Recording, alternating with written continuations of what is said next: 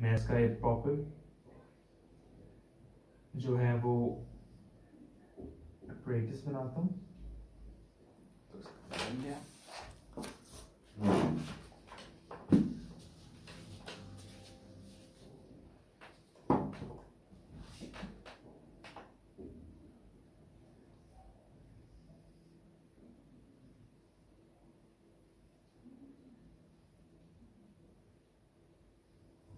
अब ये एक ऐसी टेक्निक है जिससे आप डिफरेंट डाइज को सेपरेट कर सकते हैं by putting them in the form of a solution हम नाइन्थ और टेंथ में पढ़ते थे कि हम डाइज को सेपरेट करते हैं, हम कोका कोला ले लेते हैं, हम फलां डाई ले लेते हैं, हम कुछ, कोई भी ले लेते हैं। लेकिन हम बायो के स्टूडेंट्स हैं और हमारा जो, क्या कह सकते हैं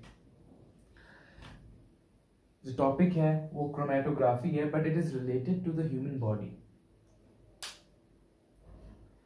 हमारी ह्यूमन बॉडी में क्या क्या फाइन चीज़ें आती हैं? मतलब अमाइनो एसिड्स हो गए, वो डाइज देते हैं।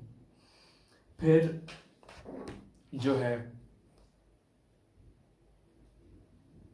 प्रोटीन्स आ गए, और फिर प्लांट्स के इंपॉर्टेंस से फोटोसिंथेटिक पिगमेंट्स आ गए। ठीक है? तो amino acids, photosynthetic pigments, and proteins. तो हम फॉर एग्ज़ाम्पल इन्हें प्लेस करेंगे सोल्यूशन के अंदर। फिर ज़ाहिर सी बात है, ये ऊपर की तरफ़ मूव करेंगे एंड दिल सेपरेट एट डिफरेंट पॉइंट्स ठीक है? लेकिन ये जो हमें नज़र आएँगे पॉइंट्स ये ट्रांसपेरेंट हो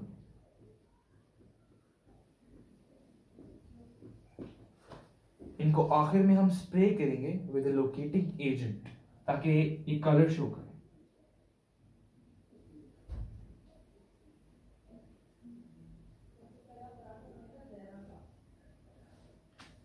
लेकिन अब हम बात करते हैं कि हम बुक की हेल्प से क्रोमेटोग्राफी को किस तरह समझ सकते हैं?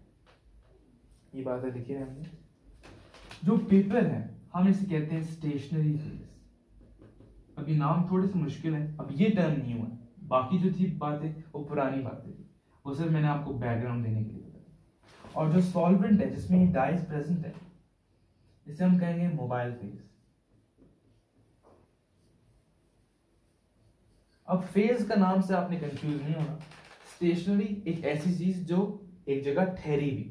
अब ये पेपर है इससे क्रोमेटोग्राम जिसे हम कहते हैं। अब ये अपनी जगह से हिलेगा नहीं। इसको आपने हुक किया हुआ है, ठीक है? तो हम इसे स्टेशनरी कहेंगे because it is not move mobile phase solvent है सॉल्वेंट ऊपर की तरफ़ मूव करेगा, ठीक है? तो ज़ाहिर सी बात है मोबाइल उस चीज़ को कहते हैं जो चीज़ मूव करती है। तो अब इसके अंदर अमाइनो एसिड्स ले लेते हैं फॉर एग्ज़ाम्पल वो प्रेजेंट है।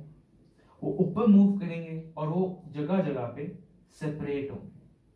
सेपरेट होने के बाद वो उनको हम कलर करेंगे।